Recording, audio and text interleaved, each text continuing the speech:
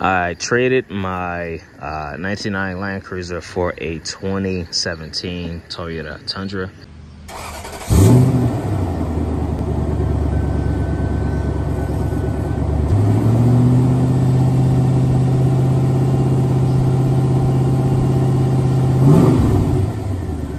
This is the limited Crew Max edition with a five and a half bed. I installed the toolbox myself. Um, so it kind of looks a bit more smaller, but it gets the job done. Aftermarket LED lights. Um, as you can see, we have our center console armrest with the limited edition badge. I have this aftermarket organizer. Um, bear with me. Uh, the reason why my inside looks like that because there was a organizer here, but it was too small, so I had to remove the rivets, and the rivets were metal. Uh, so I just got to go through with some uh, plastic putty and uh, clean that up. Uh, let's see. You have your, you can put business cards here, pens, um, and I think tissues here two cup holders, uh, place where you can put your foam straws, another mini cup holder. Uh, you got your power outlets. Uh, you got a USB and aux port as well as security. Uh, this is your heat unit. Um, it's a stock heating unit which comes with an XM uh, satellite radio. So you got your standard uh, radio with antenna. Then above you have your XM radio on the roof.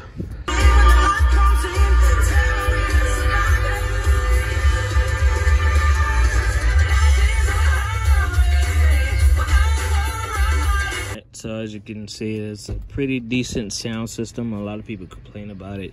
Um, it's definitely an upgrade from what I've came from when it comes to comparison of a stock uh, Land Cruiser hit unit for a 99 Land Cruiser. This is definitely a upscale. Uh, you got your place where you can put anything. I call that the anything. Uh, a lot of Ford owners, they put their glasses there. We got a sunroof, or uh, the true technical term is moonroof. I don't know why they call it moonroof.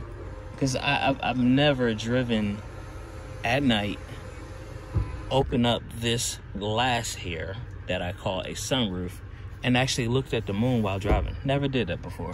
Nice leather dash right there, wood trim. Here's, I haven't replaced these yet, all of them, they come with uh, the lights. I got my glasses thing there, which you can also put here, but it's just so convenient, just like pop, pop. Beautiful steering wheel. Uh, this is pretty much for controlling the radio. Right now it's off, so it's, it's just gonna beep at us. Volume.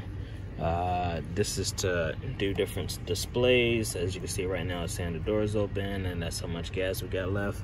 Phone buttons here. Your sensor that detects uh, when you're too close to an object or object is coming to you, it'll basically uh, throw some warnings and other stuff at you, which pretty much kind of warns you like, hey, you're too close or something's too close. Uh, you got your traction control, tow haul, which is pretty much makes uh, different adjustments to the transmission to accommodate towing. You got your trailer gain, uh, which is pretty much the trailer brake. Heated seats, so you got your heated seats function. Uh, it's got 4x4, so you got two-wheel drive, four-wheel low, four-wheel high. All right, all right, to our left. To the left, to the left. Let's make this quick. Uh, you got your mirror adjustments. You have your dome, uh, door lights. So off, on. There we go.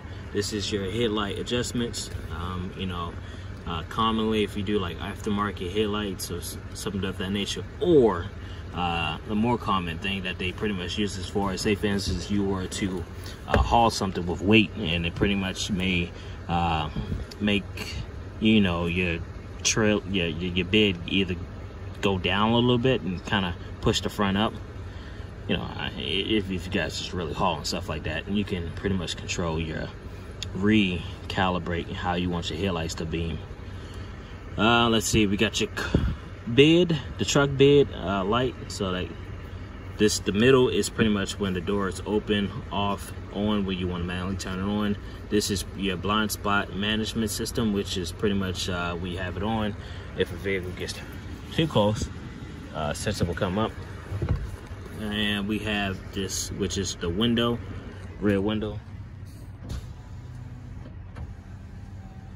You got your adjustments here for your seat. It's got a nice, cool Tundra. It's got the running boards. I'm telling you, these doors are massive. Uh, as you can already see, my truck is pretty much useful. Um, it serves its purpose very well for my family. Got these gorgeous mats. Um, back here, you got two vents. Uh, you also got another place for connecting anything that you need for power. Uh, these seats do fold this way. Um, so you can pretty much take this, pop that, make sure that didn't go anywhere. Um, take that and just pop it there. But of course, this car seat's there. This seat does not fold back. However, there is a modification way that you can do it. Um, not saying he should, because you kind of got to break or bend a bracket. Uh, these are 20s. I think they're 275, 65. Nah, 275, 55 R20s. Yep. It's got an absolutely gorgeous. Those are aftermarket LED headlight bulbs for the daytime. That's why it looks so bright and so orange because they are bright and orange. She's quiet. She is quiet. Definitely dusty though. Man, oh man, she is dusty. What the heck what I've been doing? My truck was not dusty when I bought it like that. Man, I've been... Oh, I know why it's dusty. I need to blow all this stuff out. Um, just doing some some yard work. Trimming stuff. Again, I installed my uh, toolbox.